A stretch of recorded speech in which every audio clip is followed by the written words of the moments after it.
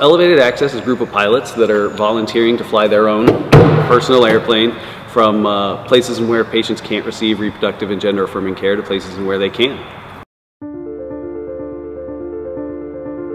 I butcher the quote every time, but you know, evil isn't kept at bay by large, you know, actions. Uh, it's kept at bay by normal people doing normal things. and that, that's what I feel like I'm doing.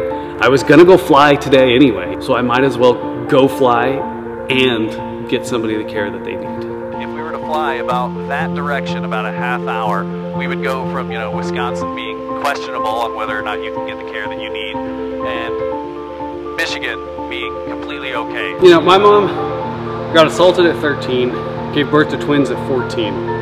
A lot of people would say, oh, you know, this guy, really, he wishes his mom would have gotten an abortion. That's, that's not what I'm saying. I'm saying that nobody should be forced to have children that not only are they uh, unprepared for, but don't want. And there was the concern that, um, you know, some states were going to start putting, you know, security at some of these airports to prevent people from getting the care that they need. Uh, but with this thing being an amphibious plane, they can't put somebody at every beach. They don't have to take a whole day off of work. They don't have to spend hundreds of dollars in gas back and forth. Even if stuff does get worse, we're still going to be able to provide the care that people need.